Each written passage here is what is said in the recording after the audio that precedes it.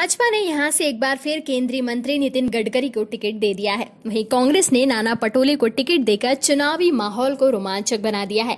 पटोले भाजपा के नेता रह चुके हैं और गडकरी को अपना राजनीतिक गुरु मानते हैं। वर्ष 2014 के लोकसभा चुनाव में गडकरी ने इस सीट पर कांग्रेस के विलास मुत्तमवार को करीब तीन लाख वोटों से मात दी थी। गडकरी को पाँच लाख सत्यासी हज़ार सात सौ उनसठ वोट मिले थे और मुत्तमवार को तीन लाख उनतीस हज़ार नौ सौ उनचालीस वोट। नागपुर लोकसभा सीट पर इस बार भी मुकाबला भाजपा और कांग्रेस के बीच होने जा रहा है। हालाँकि भाजपा को मात देने के लिए कांग्रेस ने पूर्व भाजपा सांसद को ही मैदान में उतार दिया है।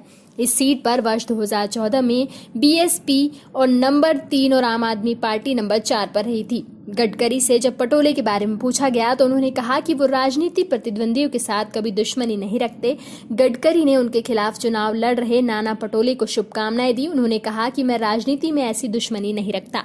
मेरी शुभकामनाएँ उनके साथ है। उधर पटोले ने दावा किया है कि लोकसभा चुनाव में गडकरी की छवि का कोई असर नहीं पड़ेगा। नाना पटोले भाजपा के टिकट पर वर्ष 2014 का लोकसभा चुनाव भंडारा गोंदिया सीट से जीते थे। उन्होंने एनसीपी के दिग्गज नेता प्रफुल्ल पटेल को करीब डेढ़ लाख वोटों से हराया था।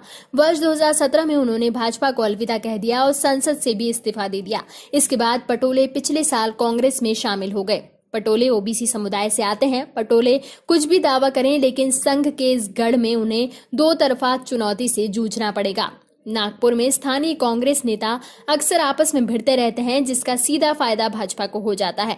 महाराष्ट्र में बुलडोजर मिनिस्टर के नाम से मशहूर रहे गडकरी की एक छवि विकास पुरुष की है। उन्होंने नागपुर के विकास के लिए काफ़ी काम किया है। कांग्रेस नेताओं में आपसी मतभेद कई बार सामने आते हैं। ठाकरे लगातार कई चुनाव हारने के बाद भी नागपुर कांग्रेस के अध्यक्ष बने हुए हैं।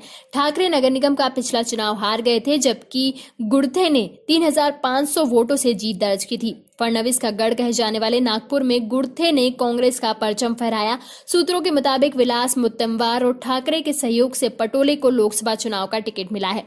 पटोले ने खेर लांजी दलित हत्याकांड में विवादित टिप्पणी की थी, जिससे दलित समुदाय उनसे नाराज़ है। नागपुर लोकसभा सीट पर ओबीसी एससी और मुस्लिम मतदाताओं का वर्चस्व है। इस सीट पर कुल 80 फ़ीसदी मतदाता ओबीसी एससी और मुस्लिम समुदाय से ताल्लुक रखते हैं। जातिगत समीकरण में फिट नहीं होने के बाद भी गडकरी कांग्रेस में आपसी मतभेद और अपनी विकासवादी छवि के कारण विदर्भ क्षेत्र की सबसे महत्वपूर्ण सीट पर जीत हासिल कर ले गए थे। दलित नेता प्रकाश प्रकाश आम्बेडकर का आरोप है कि कांग्रेस जानबूझकर गडकरी के खिलाफ कमज़ोर उम्मीदवार उतारती है।